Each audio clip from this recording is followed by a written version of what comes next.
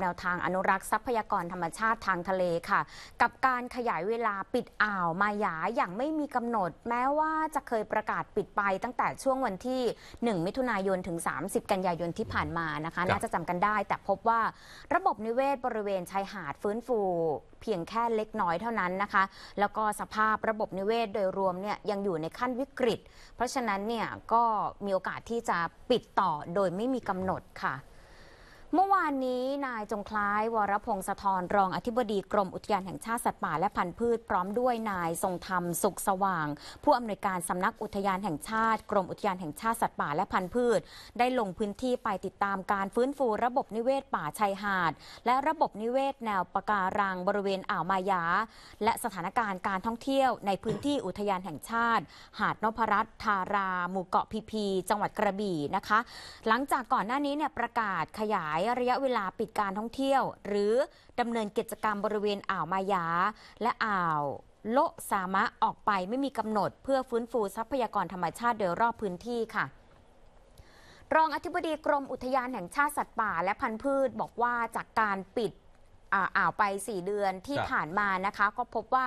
ทรัพยากรธรรมชาติ ฟื้นฟูเพียงแค่เล็กน้อยค่ะ จึงจำเป็นจะต้องขยายการปิดอ่าวมายาเพิ่มเติมนะคะ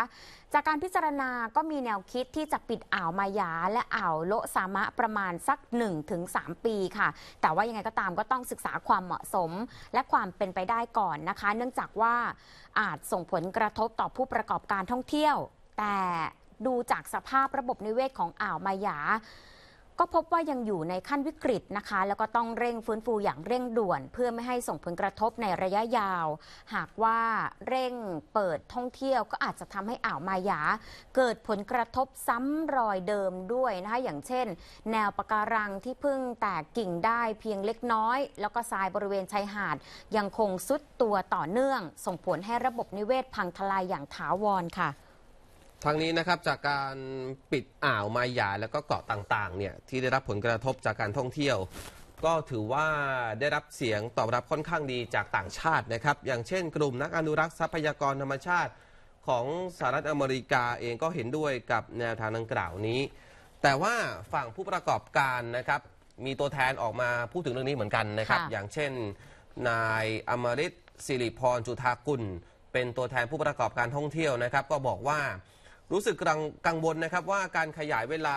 การปิดอ่าวมายายอย่างไม่มีกำหนด จะส่งผลกระทบต่อการจองโปรแกรมการท่องเที่ยวของนักท่องเที่ยวต่างชาติ ที่ก่อนหน้านี้มีการจองโปรแกรมไว้มาเป็นปีแล้ว แล้วก็อาจจะทำให้ความเชื่อมั่นด้านการท่องเที่ยวของไทยเนี่ยปรับตัวลดลง และกระทบต่อรายได้ของชาวบ้านในพื้นที่ด้วย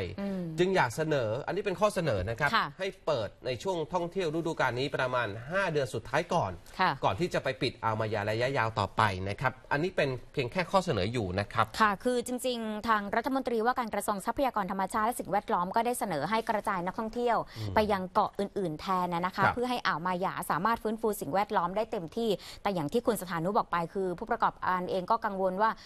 เอ่อเกาะอื่นเนี่ยอาจจะเป็นพื้นที่ที่นักท่องเที่ยวไม่ค่อยได้ไปอืมครับ อ่าวมายาเนี่ยคือเป็นรายได้หลักของคนคือที่นี่เขา คือต่างชาติเขาทราบว่าเกาะสวยนะครับ ค่ะก็แน่นอนว่าเขาจะบุกก็ต้องบุกมาที่นี่แหละ ทีนี้ค่ะถ้าที่ตรงตรงนี้มันปิดไปเนี่ยที่อื่นจะรับได้ไหมอืมนะครับแล้วพอที่จะโยกนักท่องเที่ยวไปได้ไหมอะค่ะ ต้องเดี๋ยวต้องพูดคุยกับ บรรดาผู้ประกอบการกันก่อนนะครับค่ะทางด้านผู้อำนวยการสำนักอุทยานแห่งชาติก็ย้ำว่าตลอด 20 ปีที่ผ่านมา อ่าวมายาไม่เคยปิดฟื้นฟูทรัพยากรธรรมชาติ ทั้งบนบกและชายหาดเลยนะคะ จนการท่องเที่ยวที่เติบโตได้สร้างความเสียหาย แล้วก็เสื่อมสภาพของทรัพยากรธรรมชาติบริเวณอ่าวมายาอย่างรุนแรงค่ะ